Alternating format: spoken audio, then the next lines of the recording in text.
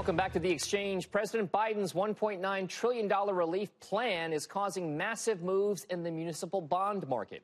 Investors are piling into those bonds, anticipating potentially billions of dollars in stimulus to cash strapped local governments. Now, in the days following the Georgia Senate elections, investors plowed $2.5 billion into muni bond funds.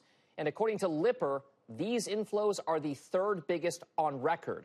Here to discuss the direction of that muni market under the Biden administration is Mark Paris, Chief Investment Officer and Head of Municipal Strategies for Invesco's Fixed Income Group. Mark, you, thank you very much for joining us here.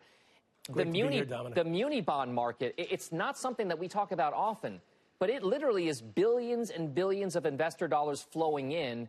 What exactly is driving it? We talked about the administration. What is it about the administration that gets muni investors excited right now? Well, I think, Dominic, there's a bunch of factors working our favor. Yes, we do have a Democratic controlled Senate, House, uh, and the presidency, and the feeling is that we will get a good stimulus bill. Uh, the feeling is that that'll help states and localities, which really wasn't talked about the first time. But the other thing is that there's certainly a perception now that taxes are going to go up a little bit more. Whether or not that truly happens, I don't know. But I think investors understand that the money that you make on munis is what you keep. It's tax exempt. Uh, the market is strong fundamentally. It's very strong technically from a flow standpoint. And I think that investors realize that where you know, where you can get, you know, one of the biggest bangs for your buck and not have to write a check to the IRS is in munis. And if the perception continues to be that taxes are going to go higher, I think we're going to continue to see a very strong year in muni flows. It, it seems so counterintuitive. We know how the struggles are for state and local governments, especially in some of the coastal areas, some of the bigger revenue type state profiles. How exactly then do investors get beyond that? Why are they so optimistic if they know that there are these big hurdles that can only really be solved with massive amounts of taxpayer aid coming down the pike?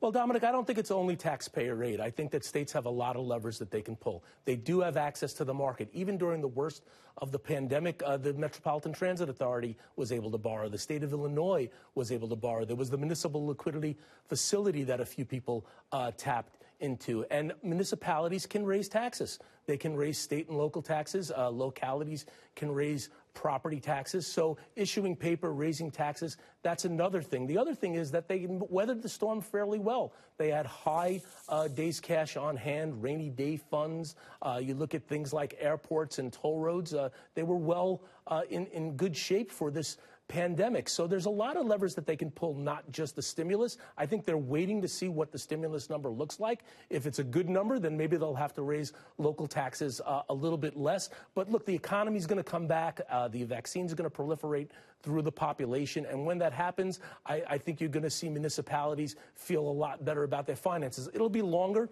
It'll take a little bit more time. But we didn't see a lot of defaults in the marketplace. We didn't even see a tremendous amount of downgrades in the marketplace. Municipalities weathered weathered the storm fairly well, and they do have multiple levels, not just to wait on the stimulus. So you, you mentioned you mentioned you know some you know public works projects, stadium type things. You mentioned taxpayers a lot.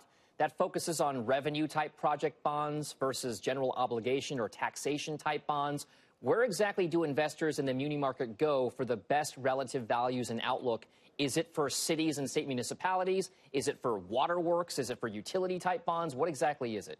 So I think we're going to see some infrastructure dollars come come towards the muni market. I think that's one place where there's consensus between Democrats and Republicans, and I think that'll be a good place uh, for issuance in the market. But as far as where investors should be, yes, we do like the essential services of the muni market. You wake up in the morning, you turn the lights on, you own the power company.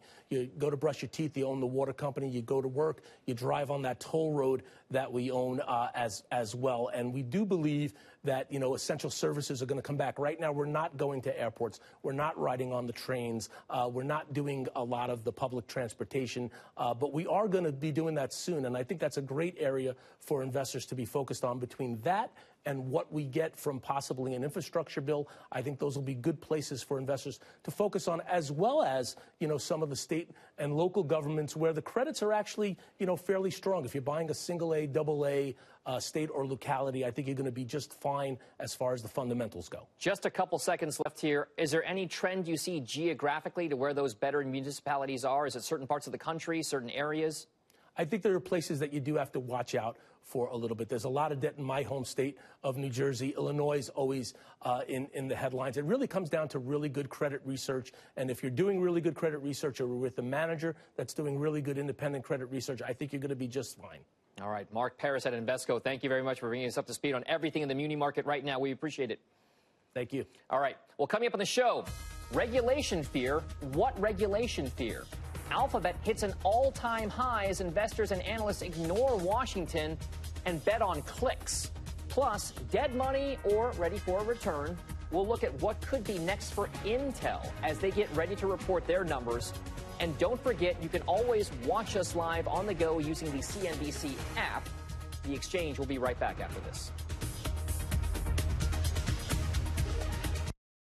Muni Money is sponsored by BAM. Ask your investment advisor about BAM insured muni bonds. When the market is unpredictable, BAM gives you certainty.